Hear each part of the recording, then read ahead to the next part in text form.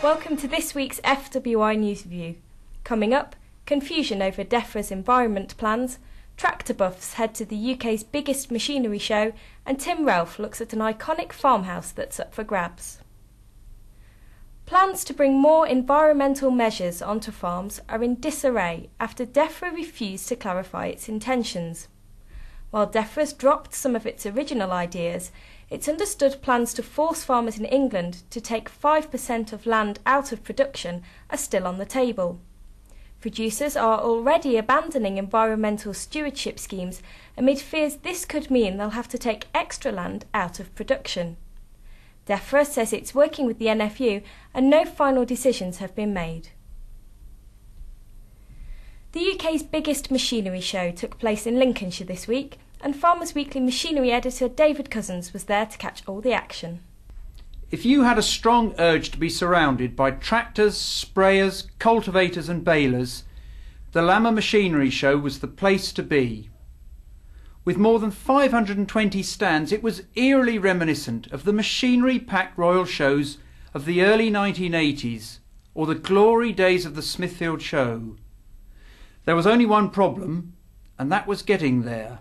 Fine if you arrived early, but traffic problems meant that for some people the last five miles took a couple of hours. So patience and strong bladders were the order of the day. Still, it was worth it when you got there. One man has dominated the headlines this week. Isabel Davies looks at what one FWI space user thinks of the new man at the top.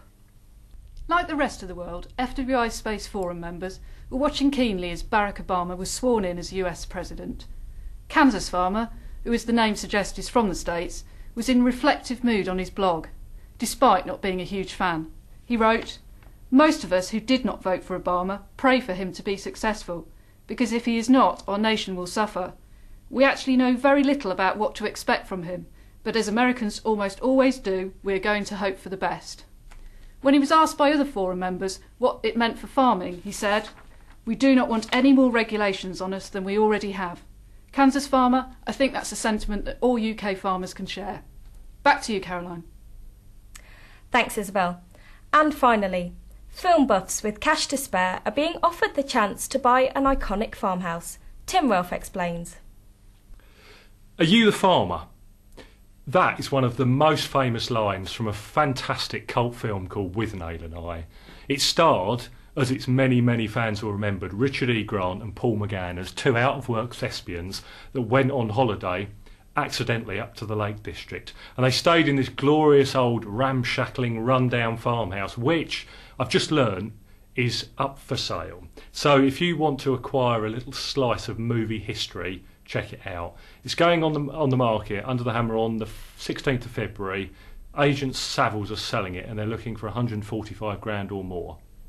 Think about it. That's it from me this week. For all the latest news, go to fwi.co.uk.